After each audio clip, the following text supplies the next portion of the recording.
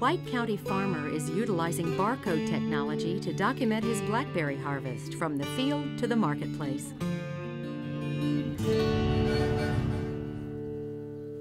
What began as a basic production tracking and accounting system at Gillum Farms nine years ago has now evolved into one that utilizes handheld barcode scanners, which is able to trace their blackberries right to the spot in the field where they are picked. We decided to uh, to upgrade and to, to, we realized there was greater technology available to us than what we had been using and so we decided to implement that uh, you know for the purpose of being able to not only track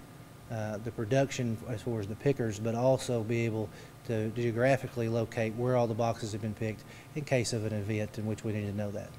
Jeremy Gillum is able to not only trace his berries from the field to the warehouse, but can now track the destination of the product, which he says may give him a competitive advantage with retailers.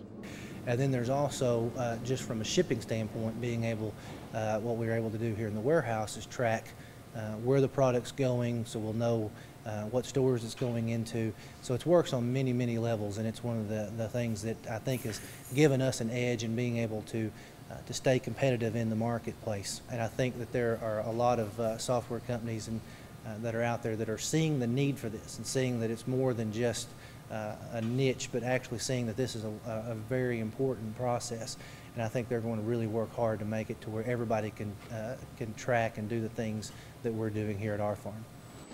Gillum says the technology is in place to move the food tracking process from the farm to supermarkets, as consumers indicate they are willing to pay a bit more for food products in order to obtain information about where the products originated, then corporate retail outlets may make the investment to merge that information into their marketing systems, making the tracking information available to shoppers.